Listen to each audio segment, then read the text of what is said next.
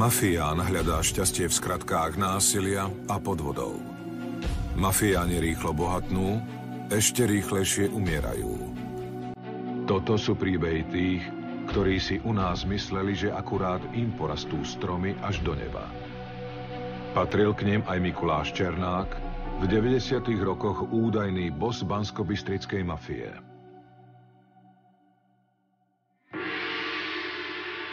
Mikuláš Ček, ktorý je označovaný tak všeobecne za bosa celého slovenského podsvetia, pochádzal z takej malej horehronskej dediny, z veľmi takej e, jednoduchej, jednoduchej rodiny a vlastne na jeho takom osobnom vývoji psychologicky nebolo až nič také mimoriadne. Absolvoval s malými problémami so správaním základnú školu, vyučil sa za automechanika, a k tej jeho kriminálnej činnosti došlo naozaj až potom začiatkom 90. rokov. Dovtedy vykonával také bežné profesie ako vodič autobusu, lesný robotník a tak ďalej. Černáka som spoznal v 93. roku, keď ma s ním zaznámil nebohý Alois Házy. A spoznali sme sa v Poprade a poznal som ho ako jednoduchého chlapca, ktorý určite mal sklony byť dobrým statkárom, alebo dobrým farmárom, nakoľko pochádzal z dediny. A on e, svoje ambície, osobne si myslím, že preniesol do ulic a neskôr do, na celé Slovensko a povyšil to na svoj princíp. Okolo roku 92 e, začal podnikať. Ako on sám uvádza, jeho základným podnikaním bola kúpa a predaj keď sme sa opýtali, čo sa tým skrýva, tak povedal rovno, že to išlo o fakturánstvo, to znamená o tie fiktívne nákupy tovaru, ktoré sa potom nezaplatili, ale postupne veľmi rýchlo, rýchlo expandovala tá činnosť e, tej skupiny. Založili si sbs založili si stavebnú firmu, e, kúpili plno krčiem, erotických salónov. Z Brezna, kde začínali, rozšírili pôsobnosť do Bystrice po celom stredoslovenskom kraji a postupne sa vlastne stal v tom slovenskom podsveti takou rešpektovanou postavou, e, ktorej sa do istej miery e, podriadovali aj tí šéfovia tých iných, iných regionálnych skupín. Mikuláš Černák bol capo di tutti teda e, šéfom všetkých šéfov zločineckých skupín na Slovensku. Z Černáka mali obrovský rešpekt, ako v Bratislave, tak aj v Košice, a si myslím aj v Dunajskej strede a on sa aj tak správal. On, on to dával aj najavo a ono už len tým svojim správaním on pochopil, že títo ľudia ho akceptujú, rešpektujú a že stále nejaké percento má navrh, lebo dokázal zosmiešniť Cikoru, keď eh, povedal, že ten si nedokáže objednať ani, ani vraždu Durana, dokázal zosmiešniť papaja. Však ten strela so zavretými očami takto vystupoval a takto aj jednal s ľuďmi a, a ja, som ho, ja som ho nevidel, že by niekedy mal strach, že by niekedy, že by niekedy zaváhal a že by dal vidieť svoju slabú stránku. Naopak, tento riešil radikálne a riešil to tým najhorším spôsobom. On bol v tom čase asi najbrutálnejší zo všetkých. A, a preto si dokázal vytvoriť aj rešpekt a na druhej strane bol aj do veľkej miery považovaný mnohými uh, inými predstaviteľmi organizovaného zločinu za akože, akože za férového chlapa. Takýto, takýto uh, mýtus okolo neho vznikol, a, a, ale vedelo sa o ňom, že on ide naozaj rovno a bezohľadne. Černák sa presadil najskôr v Telgárte, cez Brezno a Banskú Bystricu postupne ovládol celé Slovensko. Už v Telgárte však za sebou zanechal krvavú stopu. Miroslav Vlček bol krčmár z Telgártu, ktorý mal svedčiť proti Černákovmu bratovi, Vladimírovi. A údajne toho Vlčeka Černákovci zavraždili preto, aby nevypovedal proti tomu Vladimírovi. Mikuláš Černák stojí opäť pred súdom. Podľa obžaloby mal v roku 1993 zorganizovať usmrtenie krčmára Stelgartu, ktorý na súde usvedčoval Černákovho brata Vladimíra. Vdova po krčmárovi Stelgartu žiada od štátu ako odškodné približne 100 tisíc eur. Od Černáka nechcem nič, pretože pretože nechcem, bojím sa. Ako sama povedala z vraždy manžela viny 43-ročného Mikuláša Černáka, on sám však akúkoľvek vinu popiera. Nebudem hovoriť, samozrejme. Má, máte z neho ešte strach? Mikuláš Černák je človek, ktorý si podľa mňa pomýlil dve veci. A, a to, sú, to sú pojmy božský a bohorovný. A on sa cítil božský a, a chcel si dovoliť prosto bohorovné veci, ale on si prosto pomýlil svet a správal sa tak, že môže všetko, že všetko mu prejde, lebo mu to aj prechádzalo. To treba priznať. A tým pádom pokračoval.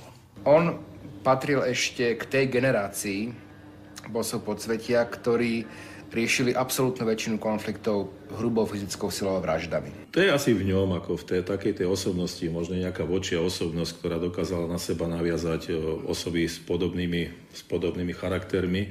To znamená naviazať osoby, osoby na seba, ktoré dokázali páchať hlavne tú násilnú trestnú činnosť.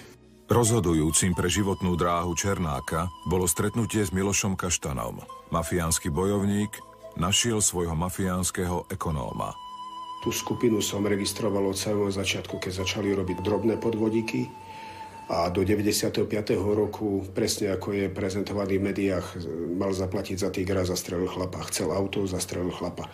A boli to viac menej drobné. Od 96. roku začali naberať ich aktivity iný okruh a inú dimenziu v peniazoch. A jednalo sa radovo desiatky miliónov korún, ale e, od samého začiatku som registroval ako mozog a, a človeka, ktorý vedel zarobiť peniaze, ktorý sa vedel dostať do spoločnosti, ktorý vedel, kde a kto má peniaze a s ním sa bude dať do budúcna niečo urobiť, aby sme zarobili, bol Kaštan. A ten bol ten, ktorý to koordinoval, čo sa týkalo peňazí a fakt v tom čase to bol on, mozog celej skupiny, a Černák bol buldozer, ktorý nastúpil a nekompromisne to zrovnal zo zemou. To bolo jedno, Rusi, Albanci, kohokoľvek. Do tretice k ním pribudol kumpán menom Kán. Základ budúcej obávanej mafiánskej bandy teda tvorili Mikuláš Černák, Miloš Kaštan a Jan Kán. Jadro skupiny Mikuláša Černáka tvorilo asi 20 členov, ktorí spoločne páchali najrozmanitejšiu trestnú činnosť násilného a majetkového charakteru. V počiatočných štádiách sa venovali predovšetkým vydieraniu a zastrašovaniu podnikateľov. Tých nútili využívať ich civilno-bezpečnostnú službu Security 3. V tom období mali všetko, čo potrebovali. Mali bezpečnostnú službu, ktorá dokázala podstate legálne vypalovať. Keď e, niekto nechcel ochranu, tak mu vysvetlili, že tú ochranu e, potrebuje. Keď mu niekto rozbil bar alebo podnik, tak zistil, že prosto tú ochranu predsa len potrebuje. Podozrenia o prepojení Černákových zločineckých aktivít so záujmami hnutia za demokratické Slovensko vedeného Vladimírom Mečierom sa prvýkrát dostali na verejnosť prostredníctvom škandalóznej fotografie zo slávnostného kladenia základného kameňa budovy okresného úradu v Krupine 17. októbra 1997. Černák, ako majiteľ stavebnej firmy Renox, stál hneď v druhom rade za vtedajším ministrom vnútra za HZDS Gustávom Krajčím. Firma Renox, e, stavebná firma. Zákazkám sa dostala jednoducho spolupracoval alebo mal kontakty e, na miestnych politických bosov alebo miestných okresných politických bosov, cez ktorých tieto veci všetky išli. Však pamätáme si za vlády Vladimíra Mečiara akčné peťky, hej, tí stranickí nominanti jednotliví mali medzi sebou takú komickú krížovú kontrolu. Oni prosto rozhodovali o tom, kto bude mm, čo robiť a tak ďalej a tak ďalej. Černák tvrdí, že zákazku dostal po dohode s vtedajším šéfom HZDS v Banskej Bystrici Petrom Novotným, ktorý mu zavolal, že sa rysuje štátna zákazka, ktorú môže pre Černákovcov vybaviť. Bez politického rozhodnutia E, takáto zákazka na e, budovu e, okresného úradu v Krupine nebola možná. Nebola možná. Sám sa napríklad chválil, že mal na výplatných listinách mnohých policajtov. Prečo tomu tak bolo?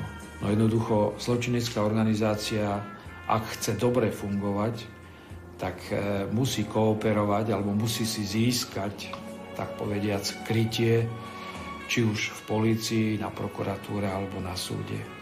A to sa dá buď teda takým spôsobom, že e, týchto ľudí buď skorumpuje, alebo ich vydiera.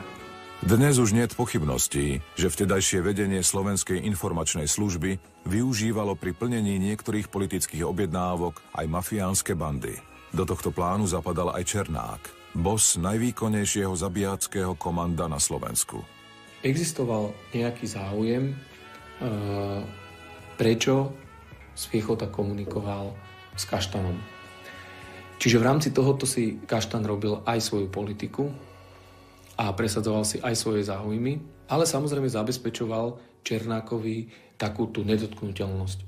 Lebo to nebolo možné, že, že e, išiel Černák po meste po Banskej Bystrici autom, aj neviem, či s Kaštanom teraz, alebo s Kánom, s jedným z nich a, a proste jeden z nich pil plechovkové pivo zastavilo pri nich policajné auto, pozeral sa na nich policajt, mali otvorené okno a proste on dopil jeden z nich tú plechovku a hodil mu ju do auta, že čo čumíš a vypadni a proste ten policajt iba zavrel okno a odišli preč. Čiže to nebolo len v tom, že tí policajti sa aj fyzicky báli, lebo ten región je malý a Mikuláš Černák si ho vedel kedykoľvek nájsť a mimo služby mu mohol ublížiť.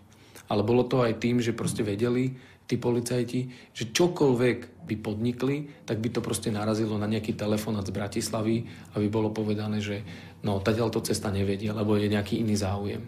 Rozprával mi istý bývalý, v tom čase už bývalý príslušník Slovenskej informačnej služby, že bol svetkom toho, ako istý funkcionár SIS priviedol raz Mikuláša Černáka, do istého prostredia spravodajcov Slovenskej informačnej služby a povedal im, toto je náš človek, je pod našou ochranou. Každopádne nebolo možné, aby títo ľudia mohli toľké roky operovať v organizovanom zločine a štát a jeho reprezentanti by si to nevšimli. Takže každopádne to politické prostredie vtedy tento zločin nielenže tolerovalo, ale aj ho využívalo. Väčšina mafiánskych bosov okázalo predvádzala svoju moc a nakradnuté bohatstvo. Černák nebol iný. Tigre boli vtedy obľúbeným poznávacím znakom mafiánov. V priebehu 90. rokov zmizlo v okolí Banskej Bystrice i Brezna bez stopy viacero ľudí, ktorí sa zaplietli s vtedy neohrozeným bosom Mikulášom Černákom a jeho ľuďmi. Telá skončili zakopané v horách, miesta poznali iba tí, ktorí pri vraždách boli. Pozostatky Ladislava Šuhajdu, ktorý žil nedaleko Prievidze, vykopali policajti v septembri roku 2015 nad obcov Jarabá v okrese Brezna potom, ako sa Mikuláš Černák po rokoch strávených v kriminále rozhodol prehovoriť o svojich činoch. Šuhajda zmizol v júli 1996, keď išiel s bratmi Melovcami na Černákov príkaz do Banskej Bystrice. Niekoľko dní predtým totiž doviezol Černákovi do Brezna Tigra za 120 tisíc korún. Černák mu vtedy odkázal, že je mimo mesta a pre peniaze nech sa zastaví v iný deň. Keď si pre ne prišiel, Černákovi komplici ho odviedli do bosovho nevestinca. Tam ho opieli, odviezli pod Čertovicu, vyzliekli zo šiat, popravili dvoma ranami do hlavy a zakopali. Zúfali rodičia mohli svojho syna pochovať až po 19 rokoch po jeho smrti. Podľa svetkov Černák hrdo vyhlasoval, že ním vynesený smrteľný rozsudok je účinnejší než rakovina. Mal vraj aj ďalšie výstižné prirovnanie. Obeťami, ktoré osobne zabil alebo dal zabiť, by vraj zaplnil autobus. Osobne, keď som sa s ním stretol a počas tých rokov, keď sme sa poznali, tak sa mi vyspovedal snáď z 20 z 25 vražd, ktoré časom som pochopil z médií, že sa stali. A na moju otázku, Miki, ty sa nebojí, že ťa niekto usvedčí, odpovedal, čo sa mám bať? Ja dostanem 25, svedok dostane 20 rokov. E, taký bol jeho pohľad na veci, ktoré sa diali pred 15-20 rokmi. Mikuláš Černák vytvoril svojej skupine silnú pozíciu v slovenskom podsvetí a získal si aj rešpekt bosov, ktorí ovládali ostatné slovenské teritória, vrátane Bratislavského. Úzko s nimi spolupracoval a pokiaľ sa s nimi dostal do konfliktu, riešil ho násilím. Poznám